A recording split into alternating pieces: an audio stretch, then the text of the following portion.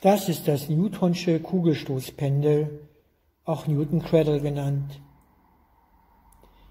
Diese Vorrichtung wurde erstmals vom Franzosen Mariotte im Jahr 1673 beschrieben.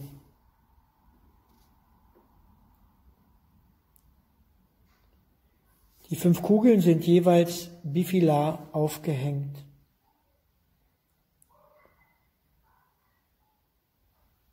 Die Pendel sind idealerweise gleich lang und die Massen der Kugeln sind idealerweise gleich groß.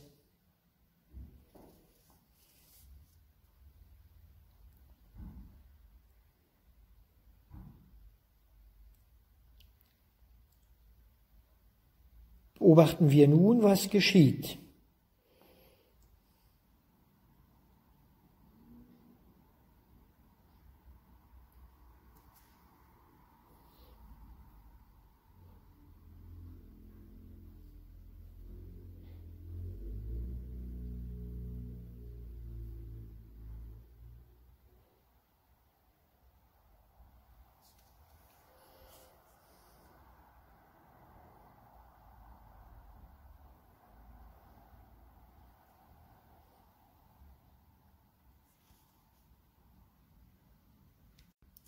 Wenn genau eine äußere Kugel ausgelenkt und losgelassen wird, so kommt es zu einem elastischen Stoß mit der benachbarten Kugel.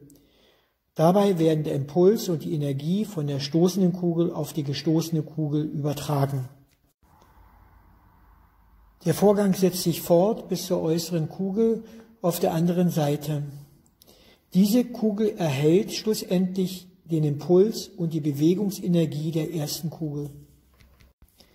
Beim Aussenken der zwei äußeren Kugeln auf der einen Seite bewegen sich nach dem Stoßprozess die zwei äußeren Kugeln auf der anderen Seite von den anderen drei Kugeln weg. Auch dieser Prozess wiederholt sich gegenläufig. Analog verhält es sich, wenn drei beziehungsweise vier Kugeln ausgelenkt werden.